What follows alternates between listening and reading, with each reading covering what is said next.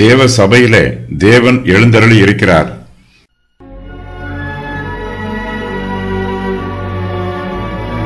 சங்கீதம் எண்பத்தி இரண்டு.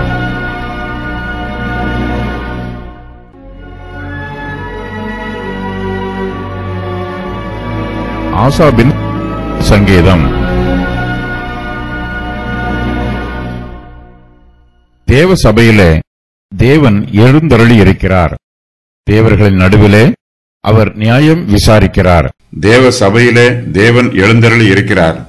தேவர்களின் நடுவிலே அவர் நியாயம் விசாரிக்கிறார். எல்லா ஆலோசனை சங்கங்களிலும் நியாய விசாரிப்பு மன்றங்களிலும் தேவனுடைய ஆளுகை இருக்கிறது. அவருடைய சர்வ வல்லமையின் பிரகாரமாகவே வழக்குகள் விசாரிக்கப்பட வேண்டும். எல்லோருக்கும் நீதியான தீர்ப்பு கொடுக்கப்பட வேண்டும். தேவ சபையில் தேவன் எழுந்தருளி இருக்கிறார். பிரதான நியாயாதிபதியாக சர்வ வல்லமை உள்ளவராக மெய்யான நீதிபரராக தேவன் தாமே எழுந்தருளி இருக்கிறார். அவர் தேவர்களின் நடுவில் நியாயம் விசாரிக்கிறார். இந்த வசனத்தில் தேவர்கள் என்னும் வார்த்தை மனுஷர் மத்தியிலே நியாயம் விசாரிக்கிற நியாயாதிபதிகளை குறிப்பிடுகிறது. இவர்கள் ஒருவேளை தேசத்தில் பிரபுக்களாக இருக்கலாம் அதிகாரிகளாக இருக்கலாம் நியாயாதிபதிகளாகவும் இருக்கலாம். தேவனாகிய கர்த்தர் ராஜாக்களையும் பிரபுக்களையும் நியாயாதிபதிகளையும் அதிகாரிகளையும் கண்ணோக்கி பார்க்கிறார். அவர்களுடைய செயல்பாடுகள் எல்லாம் தேவனுடைய பார்வையில்தான் இருக்கிறது. அவர்களுடைய கிரியைகள் தேவனுடைய கரத்தில் இருக்கிறது. நியாயாதிபதிகள் அதிகாரம் உள்ளவர்கள் அவர்கள் வல்லமை உள்ளவர்கள் ஜனங்களுக்கு நன்மை செய்ய வேண்டும் என்பதற்காகவும் நன்மை உண்டாக வேண்டும் என்பதற்காகவும் அவர்களுக்கு அதிகாரம் கொடுக்கப்பட்டிருக்கிறது. எவரைய பாஷையிலே தேவர்கள் என்று பொருள்படும் வார்த்தையினால் நியாயாதிபதிகள் அழைக்கப்படுகிறார்கள். இதே வார்த்தை தேசத்தை ஆளுகை செய்யும் ராஜாக்களையும் பிரபுக்களையும் குறிப்பதற்கும் பயன்படுத்தப்படுகிறது.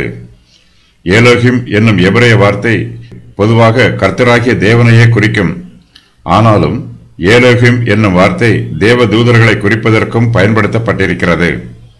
தேவன் இந்த பிரபஞ்சத்தை ஆளுகை செய்ய தேவ தூதர்களையும் பயன்படுத்துகிறார். தேவர்கள் தேவனை விட கீழானவர்கள். இவர்களும் சிருஷ்டிக்கப்பட்டவர்கள்தான்.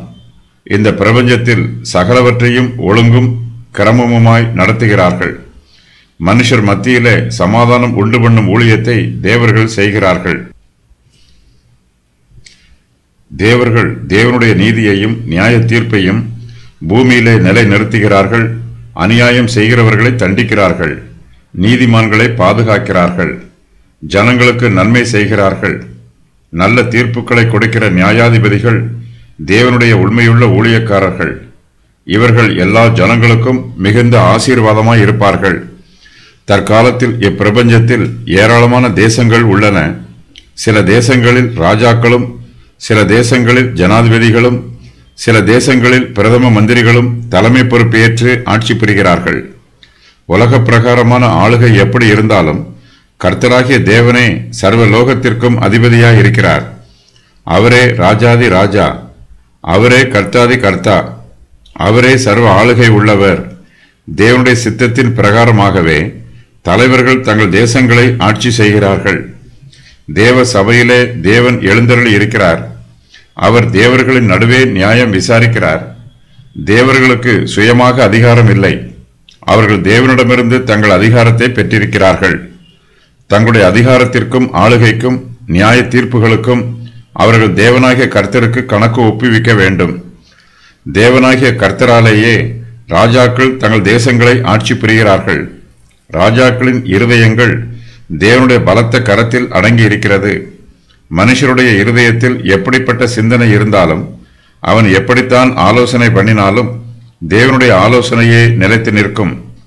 தேவனுடைய விருப்பமும் சித்தமுமே நிறைவேறும். இந்த பிரபஞ்சத்தில் உள்ள நியாயாதிபதிகள் தேவனை நோக்கி பார்க்க வேண்டும்.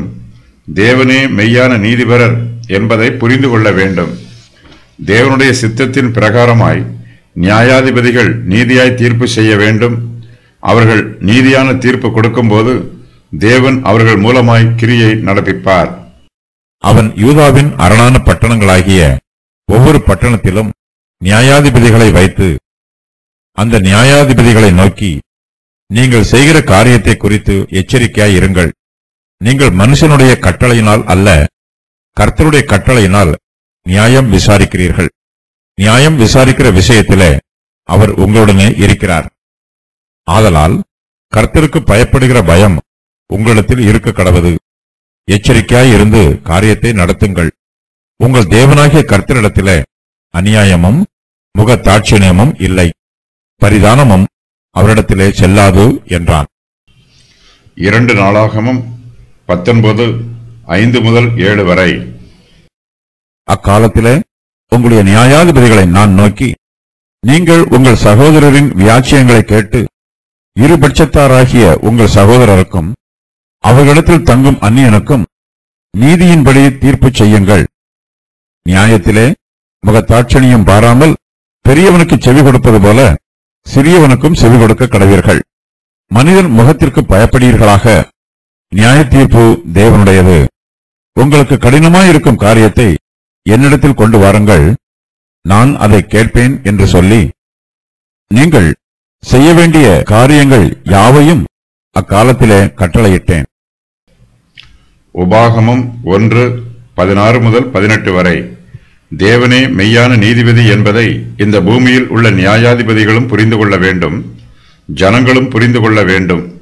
நியாய தீர்ப்பு செய்கிறவர்கள் தேவனுடைய தெய்வீக வழிநடத்துதலுக்கு கீழ்ப்படிந்து நீதியாய் தீர்ப்பு சொல்லுகிறார்கள்.